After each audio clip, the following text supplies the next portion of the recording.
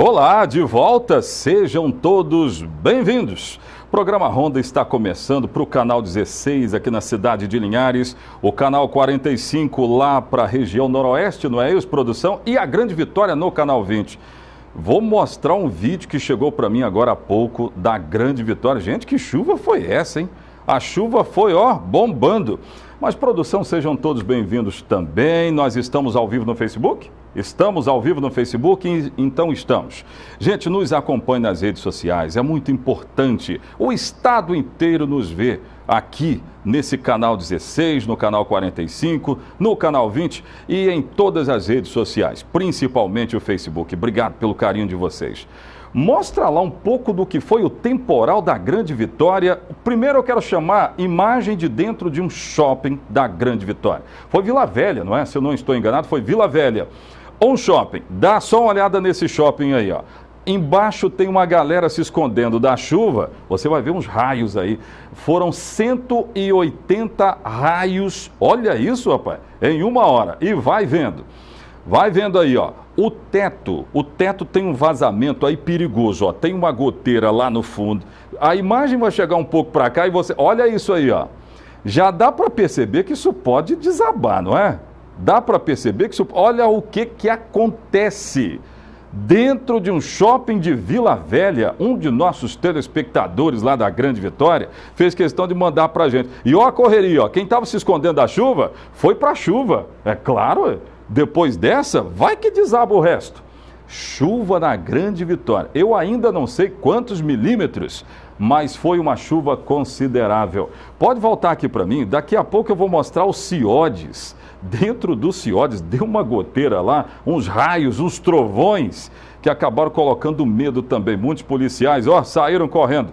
É assim que nós começamos. Muitas informações vão passar por aqui. No rádio ou na TV, a notícia chega até você.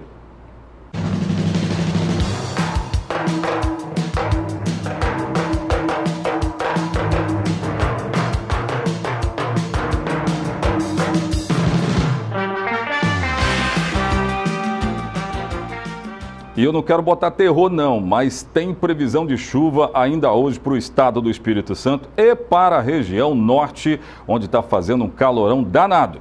Coloca de novo esse vídeo, mas agora eu quero com áudio. As pessoas gritando ali, um vai daqui, outro vai dali, corre de lá e de cá. Um temporal gigantesco ontem na Grande Vitória assustou moradores e quem estava dentro desse shopping aqui, ó. Coloca aí, põe no ar.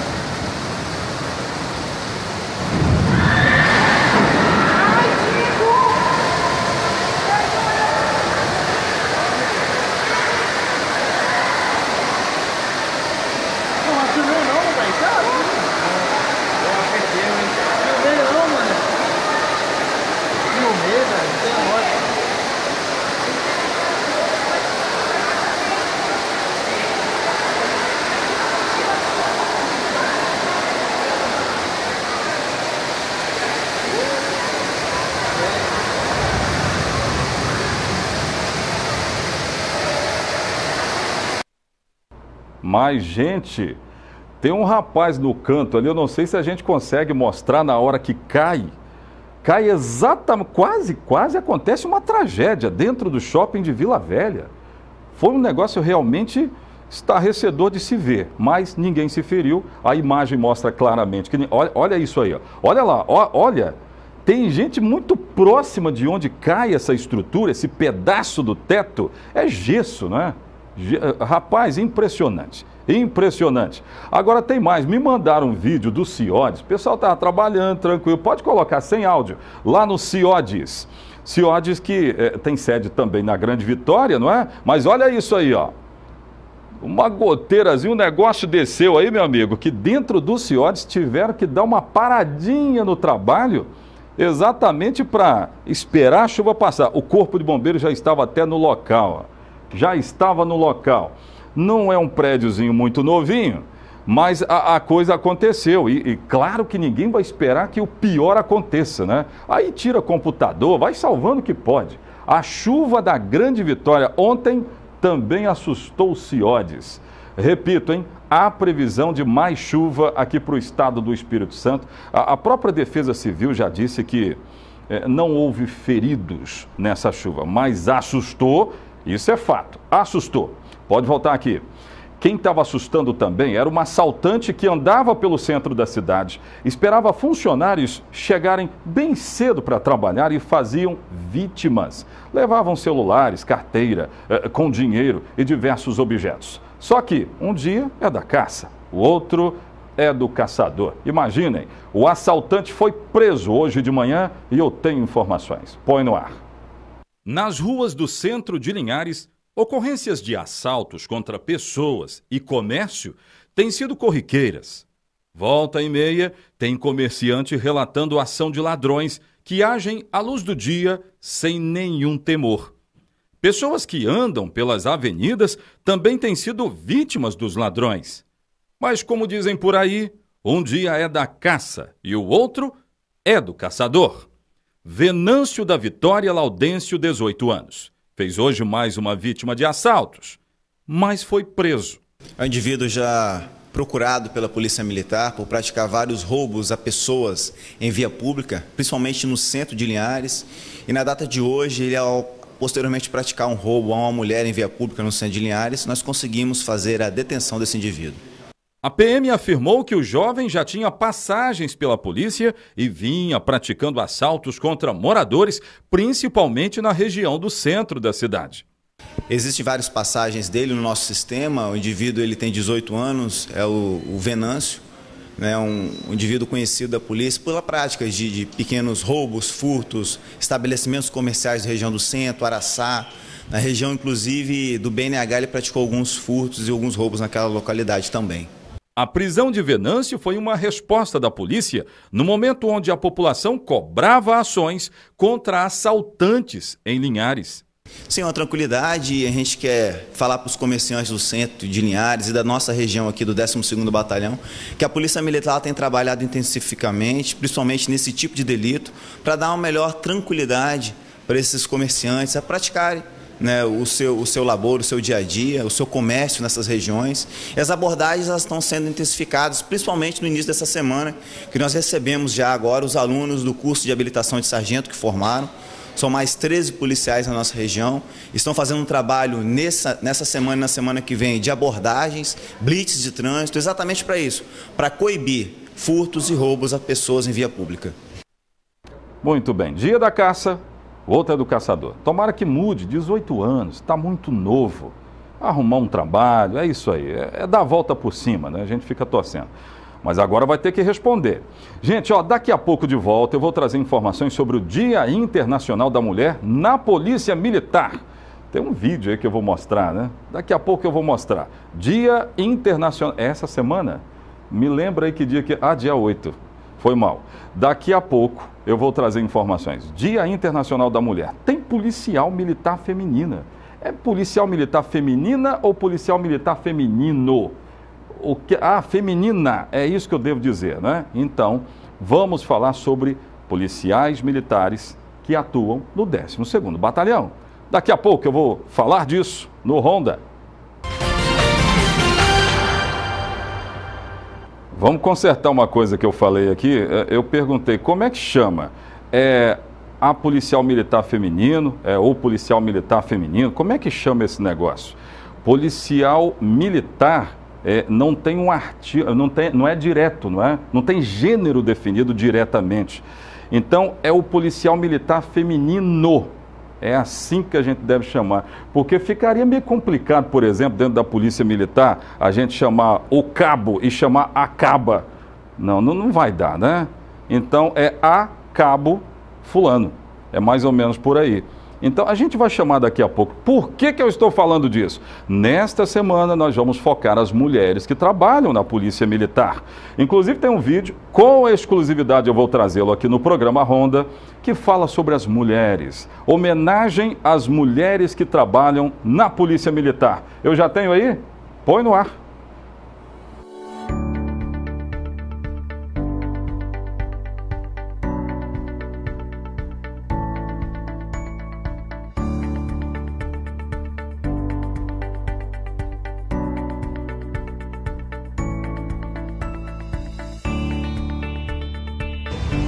9 de agosto do ano de 1983 marca a história da mulher na Polícia Militar do Estado do Espírito Santo. Foi nesta data que ingressaram as primeiras mulheres na instituição, com o primeiro curso de formação de sargentos femininos.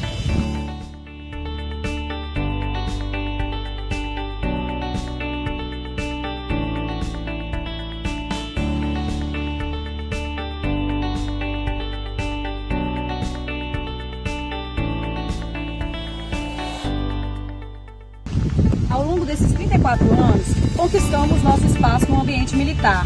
Hoje, centenas de mulheres fazem parte desta amada instituição, atuando com muita dedicação em todos os setores da Polícia Militar.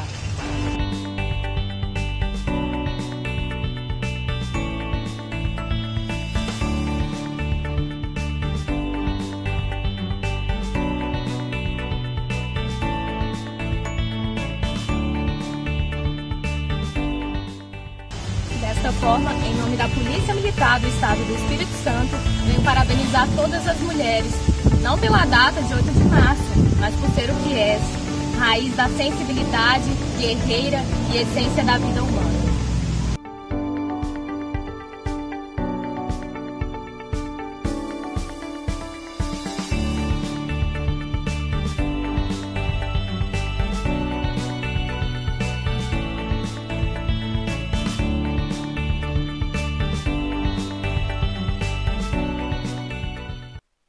Pois é, eu acompanho a Polícia Militar há, há, muito tempo e acompanho as mulheres na Polícia Militar. E elas têm trabalhos fantásticos, trabalhos fantásticos. Parabéns a todas as mulheres. Daqui a pouco eu vou receber uma aqui do meu lado, nos estúdios, e aí a gente vai conversar com ela. Vamos falar da 259? Será que já tem um pare siga funcionando lá na 259? Eu quero saber dos detalhes. Põe no ar. Após quase um mês de interdição, devido ao deslizamento de pedras, a BR-259, no quilômetro 79, foi liberada. O trecho liga o município de Baixo Guandu à Colatina e desde a última sexta-feira, veículos pequenos estão autorizados a passar no esquema de pare e siga. Pra gente foi bom, né? Mas o ruim é os alunos, né? Tem um monte de gente aí para trás aí que não passar, tem que pegar a estrada de chão, tem gente que demora, acorda de madrugada, né? Somente automóveis de pequeno porte estavam autorizados a passar. Mas após um protesto realizado nesta manhã, veículos que pesam até 10 toneladas poderão trafegar pelo local. Na manhã desta segunda-feira, por volta das 6 horas, pais e alunos do IFES Campus Itapina, que utilizam esta rota para chegar até a instituição, organizaram uma manifestação bloqueando a BR. Após acordo com representantes do DENIT que estavam aqui no local, eles liberaram a pista por volta das 9 horas da manhã. Duas balanças foram instaladas no local. Os veículos maiores serão pesados. Aqueles com peso de até 10 toneladas serão liberados. Caso contrário, terão que dar meia volta e retornar de onde vieram. Apesar da via liberada, muita gente ainda está insatisfeita péssima, porque o tanto que nós ficamos sem, sem condição de passar, a situação que está meu carro de passar pelaquela estrada lá é horrível. É um caos, né? Isso aí é o seguinte, é, já podia ter previsto isso aí há muito tempo. Que toda vez que chove, corre risco de correr pedra, deslizar pedra. Então isso aí tem muito tempo que está acontecendo isso aí. Já podia ter resolvido há muito tempo. É, tá certo que é uma obra muito grande. Agora vamos ver que se resolve, né? As obras no trecho continuam e ainda não há previsão para que a pista seja totalmente liberada. É totalmente liberada, ainda não tem previsão, mas o grande detalhe é que já ajuda muito. Está num pare e siga. Eu acho que já vai ajudar bastante. Leste de Minas Gerais e o estado do Espírito Santo agradecem. Gente, coloca de novo imagem do assaltante que acabou sendo preso, foi preso hoje de manhã, é, numa abordagem da Polícia Militar. Hoje esse assaltante cometeu um, um, assalto lá no centro da cidade, a polícia agiu rapidamente e já deu uma resposta para a comunidade. Chegou para mim agora a informação de que, dando conta de que vítimas deste assaltante é, é, apareceram na delegacia para dar depoimento. Já tem um depoimento tomado, inclusive, relatando a ação dele. Tem imagem? Se tiver imagem, eu gostaria de colocar. Foi uma operação de hoje de manhã, aliás, operação não, uma abordagem feita hoje pela manhã da Polícia Militar. E uma resposta quando muitas pessoas cobram da polícia, né? Cobram da polícia. Poxa vida, são muitos assaltos que acontecem no centro e a polícia não faz nada. Faz sim, quando ela recebe boas informações e está aí o resultado. Isso aí foi levado para a delegacia hoje, né? Foi levado hoje e já tem passagens pela polícia. Estava cometendo assaltos no centro da cidade. Daqui a pouco, entrevista aqui nos estúdios. Vou entrevistar uma mulher da Polícia Militar. Eu volto já.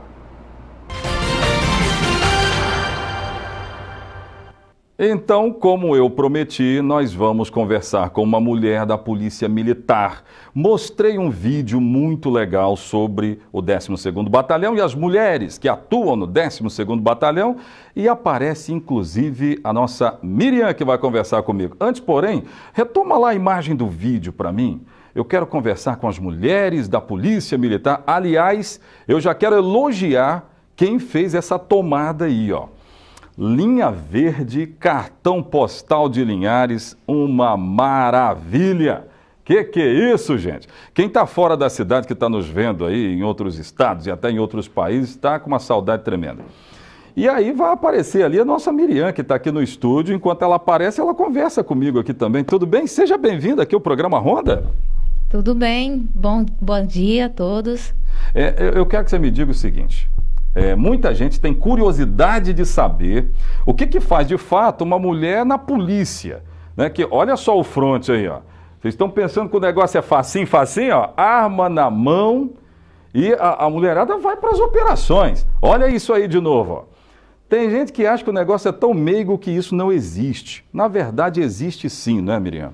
Bom, atualmente a mulher ela atua em todos os setores da Polícia Militar uhum. em várias áreas, desde o rádio patrulhamento, na viatura, é, no serviço do 90, também na área da saúde, tem um hospital militar, tem a mulher piloto no Notaé. Ah, também tem temos, mulher piloto? Temos sim. Olha, é uma oficial legal. que atua no Notaé. E também nós temos em vários setores, né? O papel da mulher é muito importante porque é, dá esse cenário que é novo da mulher na, na sociedade. Que a mulher pode, né? Isso. O cenário é exatamente esse. A mulher pode. É, é, antigamente a gente não falava de mulher na polícia militar, era mais difícil. Agora não. A gente está vendo que a mulher tem capacidade, jeito para coisa e ela acaba fazendo a diferença, não é? Eu, eu penso assim, não sei se, se a, a, cabo Miriam pensa dessa forma. Sim, a, o ingresso da mulher foi no ano de 1983 a partir de um decreto, em 6 de maio. Anos depois, né? Isso. 83. Temos 34 anos de atuação. Uhum. Em 9 de agosto, teve a primeira turma de sargentos femininos. A partir daí, foi só um pontapé. Hoje a mulher, ela, a cada concurso é aberto, né, de ingresso. Eu atuo há nove anos na Polícia Militar. Já tem nove anos? Já tem nove anos. Olha isso. Desde, desde 11 de setembro de 2009. Muito bem. E viveu um monte de experiência, eu acredito, né? Já viveu um montão de experiências ali. É, hoje está trabalhando mais, a senhora está trabalhando mais na, na comunicação, né? Está ligada mais à comunicação. Mas já viveu muitas experiências, assim como todas as mulheres viveram experiências. Aí a pergunta que não quer se calar e que muitas mulheres estão te olhando ali, estão vendo, poxa vida, eu queria colocar uma farda dessa, eu queria partir para o fronte também. É, a senhora recomenda para elas? Sim, recomendo. O ingresso da mulher na Polícia Militar é através de concurso público.